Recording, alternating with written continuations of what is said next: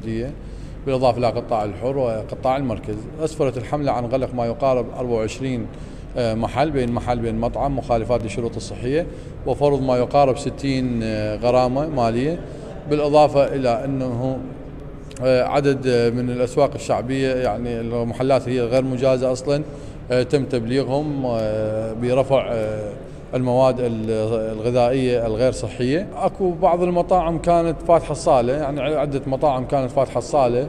آه، بعض المطاعم كان العمال يعني صالات مغلقة لكن العمال غير ملتزمين بالإجراءات الوقائية. تم فرض غرامات مالية وبالإضافة إلى أنه آه، غلق هذه المطاعم طيل فترة الحظر. طبعا هذه الإجراءات تتنوع بين الغرامة المالية أو الغلق لمدة ثلاثة أيام أو أسبوع أو ما يصل إلى 90 يوم وفرض غرامات تقدر إلى 5 ملايين. بالإضافة إلى أنه لحاله المحاكم العراقية المختصة في هذا الموضوع.